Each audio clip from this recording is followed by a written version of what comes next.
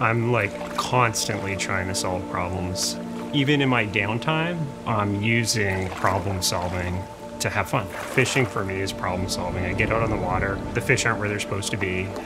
My job as a fisherman is to locate the fish and find the fish. When you're presented with a problem in life, you don't immediately think, even as a Christian, oh, thank you, God, for this opportunity. I know it for a fact that you do know when you're at the end of that problem and there's a resolution, you see back and you see how God has helped you along that, that path.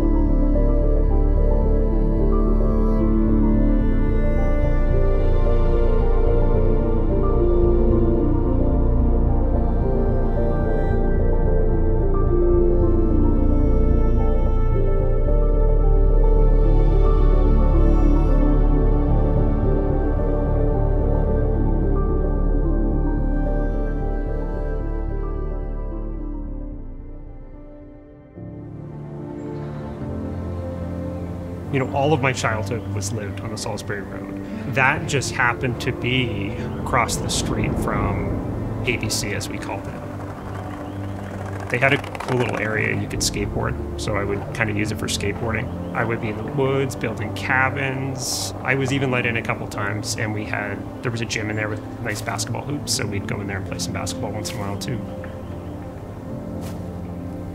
you know, I always did good in high school, had good marks. Path was go to Mount Allison University and do science.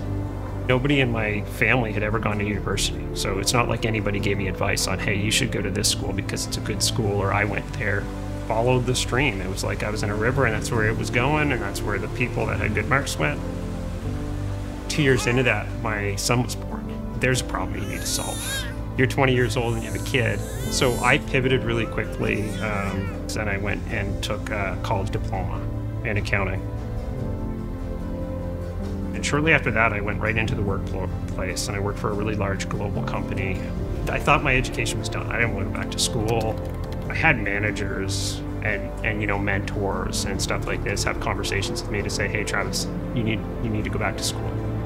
Every two years, I'm getting a promotion. My salary keeps on going up tell me why, what's in it for me. And it was this point where one of my very good friends in the workplace gave me this, this wisdom, and he said, if this place ever closed down, you wouldn't be able to make the money that you make today or have the job that you have today without a degree. He said that to me, and it was just like eyes opening. And, and it just hit me. I was like, it's not for me, it's not for my career, it's actually for my family. It was like, that's the reason. Someone has finally given me the reason.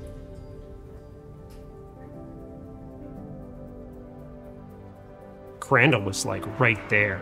It was it was like right there. I had all this encouragement and it bam, like that was just another piece that slid in for me. One of the things that kind of shocked me right away was a, a lot almost all of the classes I think were set up in like this U-shape style.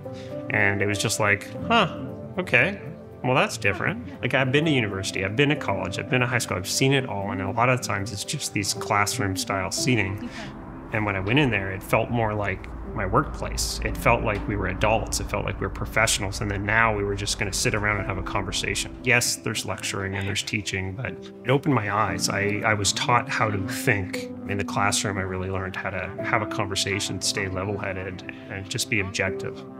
It was set up perfectly for me, the commitment with my family and the way they structured it. And you know what? I didn't even actually know that at the time. It was like when I got there, I realized how well structured it was for a working professional. And then going back to school and getting that education at exactly the time I needed, like exactly the time that I needed it. I didn't ever plan on working for another company. Uh, and then I got news that, hey, you know, they're closing the office in town, and um, I had to find a new job. This problem that I now was presented with, that I didn't realize I was being set up for, I had to solve. And I, I now have the tools to solve it. And you know what? The job I have now, I would not have been able to get without the degree. I, I think a lot of people in life they they would look back on that and say, well, you know, that's lucky. As a Christian, I look back and I go, God was taking care of me all that way. Like that that wasn't me. That was Him. Like, I mean, how do you explain it? People were asking me to go back to school, and I was blatantly telling them no. Like years, years of people telling me this. And Crandall is here in my backyard there's many, many, many situations in my life where uh, I didn't see it at first, but when it's all said and done, you go, you know what, you were taking care of me. You were 100% taking care of me.